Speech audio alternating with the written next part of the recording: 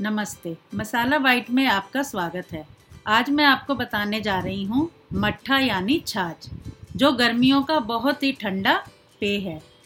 इसे घर में आसानी से बनाया जा सकता है। इसके लिए हमें चाहिए दही एक कप, पानी एक बड़ा गिलास, सादा नमक आधा छोटा चम्मच, भुना हुआ जीरा आधा छोटा चम्मच, काला नमक एक चौथाई छोटा चम्मच धनिया पत्ती गार्निश के लिए। सबसे पहले हम मिक्सी में दही डालेंगे। पानी डालेंगे। पानी आप कम या ज़्यादा भी डाल सकते हैं, अगर आपको छाछ पतली चाहिए तो। अब इसमें डालेंगे सादा नमक,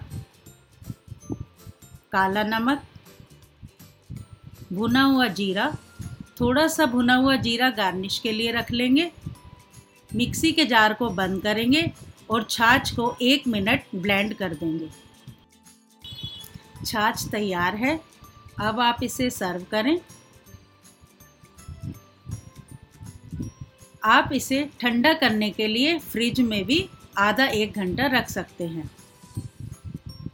अब हम इसमें थोड़ा सा भुना हुआ जीरा डालेंगे। और धनिया पत्ती से गार्निश कर देंगे।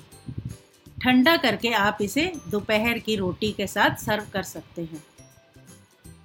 अगर आपको मेरी ये रेसिपी अच्छी लगे तो प्लीज़ इसे लाइक और शेयर करें।